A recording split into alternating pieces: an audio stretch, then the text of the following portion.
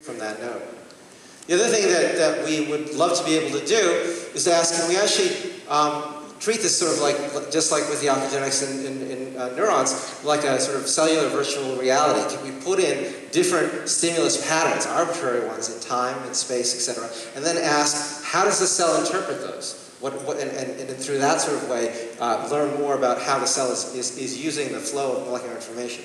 So how do we um, get control? So the, the, first thing is I'll tell you about um, a light-gated protein interaction module. Uh, there are several now that are, that are out there that people are working on, um, and we, we happen to work on this one that Anselm uh, uh, uh started uh, working with, which is uh, from Arabidopsis. It's the phytochrome uh, B PIF system. The key thing to remember is that this is a uh, light-gated interaction module. It's essentially a, a, light toggle. If you hit it with 750, uh, with uh, 650 nanometers, then it changes conformation and it will bind, the phytochrome protein will, will bind to this PIF interaction unit. So it's, a, it's, a, it's an interaction module that's composed of two things.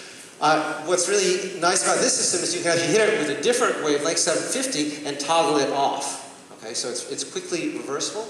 Um, and uh, if you are, if you, of course, many signaling uh, uh, uh behaviors are regulated by, um, by recruitment and association, much as we learned from Tony's uh, seminal work with SH2 domains. and so if you have a protein like this and you hook it up to this light-gated interaction, you can often uh, now control the activity of that signaling protein with light.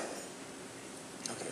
And what's really uh, great about this is it's very modular in principle uh, you can control uh, any kind of recruitment dependent event uh, if, if, you jigger with it correctly with, uh, with the phytochrome system, at least in principle.